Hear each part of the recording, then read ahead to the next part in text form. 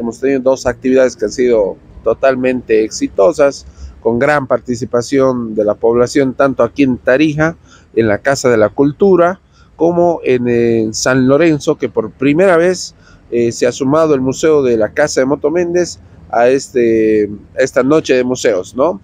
En coordinación con la subgobernación de San Lorenzo y la alcaldía, eh, hemos podido lograr que una gran afluencia de, personas de San Lorenzo y de Tarija que también se trasladaron allá, eh, puedan participar de esta actividad y resaltar también la colaboración de San Lorenzo Tours, que fueron los que nos apoyaron en toda la organización y pudieron llevar también a expositores de, de San Lorenzo para que puedan vender el, el, tema de sus masas, sus productos típicos, ¿no?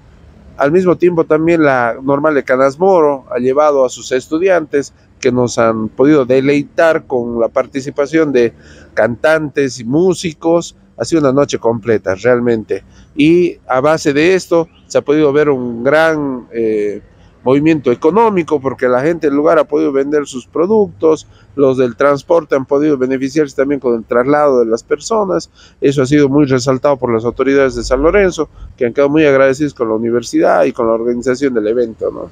Mucha de la población ha quedado muy encantada porque a veces no conocemos los alcances que tenemos de nuestros museos, que son nacionales, y la riqueza cultural y paleontológica que tenemos aquí en Tarija, que eso nos puede ayudar mucho en un futuro para poder desarrollar todo un mercado en torno al turismo. Una gran participación de los estudiantes de las sociedades científicas que nos han colaborado para estar de guías, se han preparado ya una semana antes para poder atender a la población tarijeña.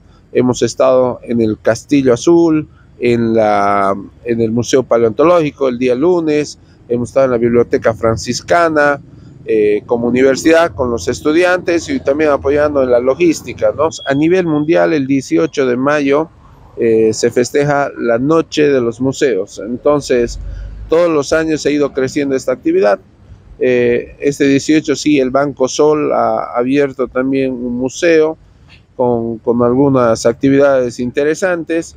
Ha habido los centros culturales que también han abierto sus puertas para mostrar las actividades que ellos hacen y obviamente ha estado el Castillo Azul, el Museo de la Biblioteca Franciscana eh, y obviamente la Casa de la Cultura y el Paleontológico, todos, todos han estado abiertos.